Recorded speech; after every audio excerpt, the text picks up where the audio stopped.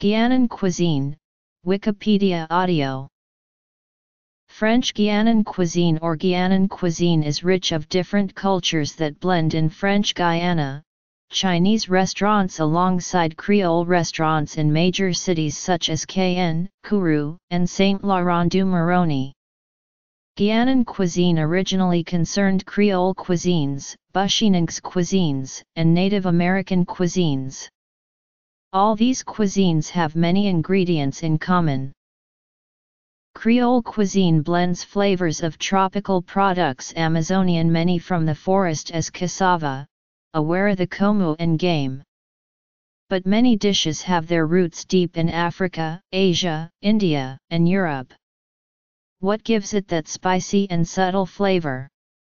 On the local market, instead of obligatory passage, the Creole merchant advise and make taste their products. This ranges from couac, cassava flour, essential for the realization of fierce lawyer, which draws all its power from the cayenne pepper.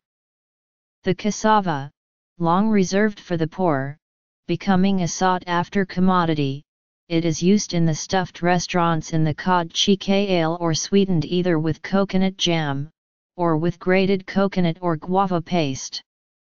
As for cod fritters, which consume a starter or an aperitif, they accompany the famous TI punch. Smoked fish.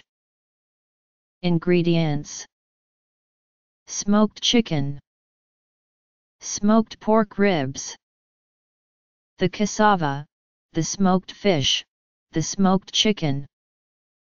Spices and condiments. Vegetables. Common fruits. Meats. Game. Seafood. Local cuisine. Drinks. Input. Dishes. Desserts, sweets, pastries.